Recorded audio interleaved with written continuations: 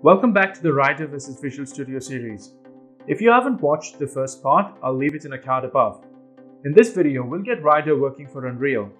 Before we get to that, we need a little bit of background knowledge. Unlike Visual Studio, where you need first to download the IDE itself and then keep adding or removing extensions depending on your work, JetBrains has a different IDE for different tasks.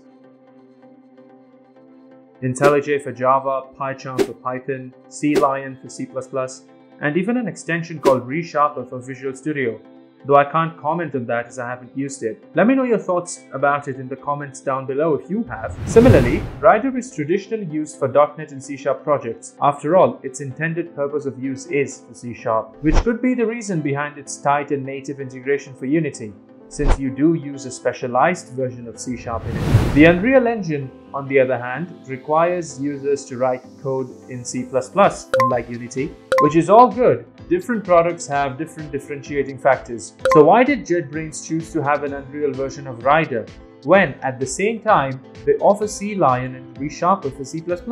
The reason is that so people wouldn't need to have separate subscriptions running for using Unity and Unreal. It does make sense to have a complete game development IDE that is completely supported by two of the most popular game engines in the world, right?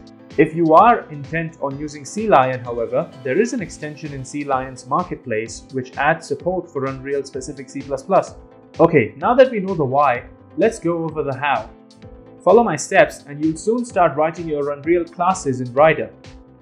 As previously mentioned, Rider for Unreal is currently in beta, which means you need to sign up for a preview version.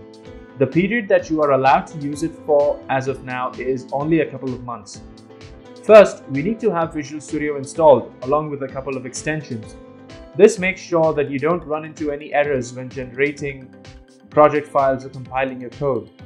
Pick up these extensions or plugins whatever you call them, and click install while downloading. After it finishes, go over to the Unreal tab in the Epic Games Store and see which version of the game you have.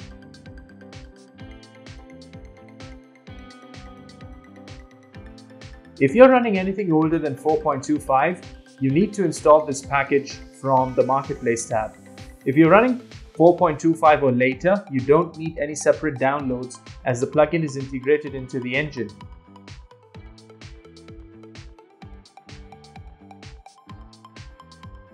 Here's a useful tip.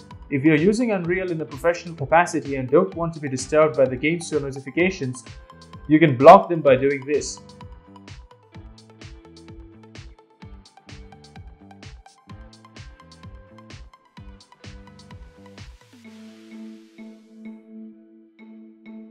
Once that is finished, open up a C++ project in Unreal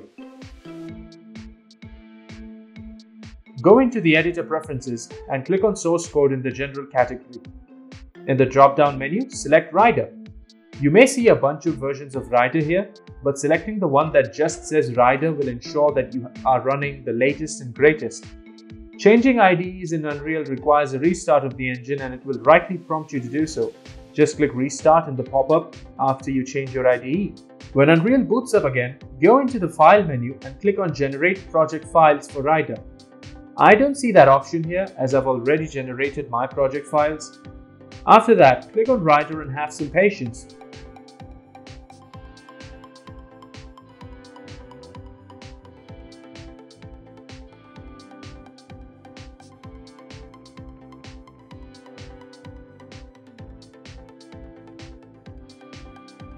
There are all the progress bars complete, including the one at the bottom of the screen.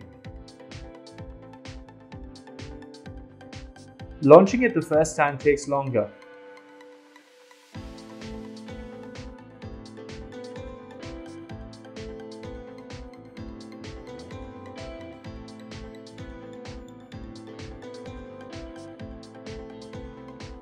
After all the progress bars are complete, go back into Unreal, File menu and click on Refresh Project. Once the refresh is complete, you can safely compile your project. If you do get any errors at this stage, there is a simple fix. Close Unreal and go into the folder that has your project files in the File Explorer.